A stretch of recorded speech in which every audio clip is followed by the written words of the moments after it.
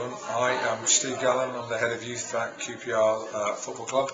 Um, the idea today was to get some players from the local community um, with the help of Sporting Equals, um, bring some football players down.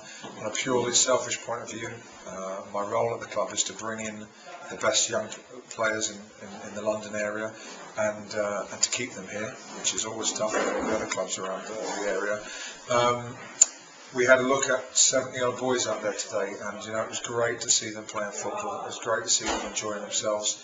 Some very good players out there, and uh, a mixture of abilities. Certainly, some of the lads wouldn't be good enough to, to be at our centre of excellence, but we've identified uh, about a dozen lads that we feel would be able to come in um, and train with our boys at the centre of excellence. The truth is, if we end up with three or four of them lads signing for QPR, then I'll be absolutely delighted. Uh, as a first day, you know, uh, I think it was a complete success. The boys all seemed to really enjoy themselves. The parents seemed happy.